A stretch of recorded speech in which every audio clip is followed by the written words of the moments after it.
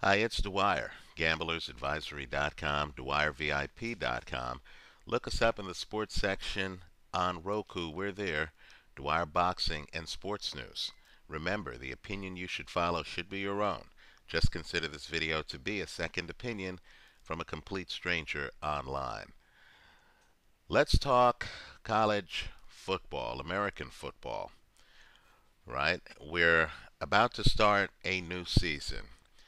And I simply don't believe in true freshmen quarterbacks. Right? Now, the Miami Hurricanes have a true freshman who will be starting in his first game in college against Bobby Petrino's Louisville Cardinals. And understand the game is at Louisville. Right? So when I see something like this, a red flag goes up. Understand, Johnny Manziel was a redshirt freshman. It's not the same. If you go back in college history, I guess Holieway for Barry Switzer's Oklahoma squad was a true freshman. But that was a generation ago, right? In a rushing offense when Oklahoma ruled the roost.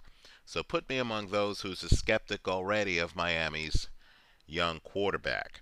You add in the fact that in the bowl game at the end of last season, Louisville destroyed Miami. Right? Destroyed them.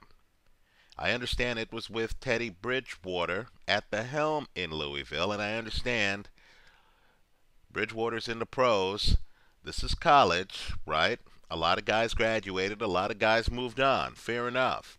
But just understand that the Hurricanes last year, in the second half of the year, had structural problems on defense. Right? They gave up on average over their last six games 37.3 points per game. Right? So I have a problem with that right? I don't think Miami will be able to solve their defense and solve their quarterback situation, right, in their first game of this year.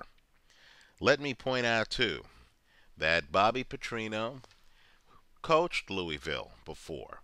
He knows the environment.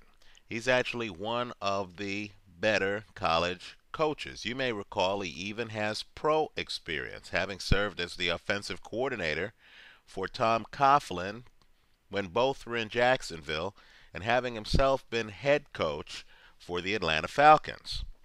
Right now, Louisville's interesting because obviously with Bridgewater gone, they have a new quarterback, Will Gardner. Here's what you need to know. Right? Petrino is an offensively minded coach. Gardner in their spring game threw for over 500 yards. Now, there are key injuries here right? Louisville has lost to, to injury their top receiver, right? But I think what's going to happen is Louisville's going to continue to click because you don't throw for over 500 yards in a spring football game if you don't have other weapons. Right? And I feel that if Louisville jumps out to a lead and the game's in Louisville, right, I think there's going to be panic from the Hurricanes because, of course, the defense can't stop anybody or didn't last year, right? You're going to have a lot of young guys on defense. And of course, the leadership's not there because you have a true freshman starting at quarterback.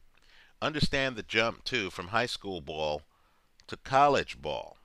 That's a huge jump. Even if you're from a big time high school program, you're probably playing in front of no more than 30,000 people a game. Right? When you get to the NCAA level, just the crowd alone is going to introduce a different dynamic to the party. So I like Louisville on a money line in this. Both of these teams are evenly matched. I believe the point spread is Louisville by three.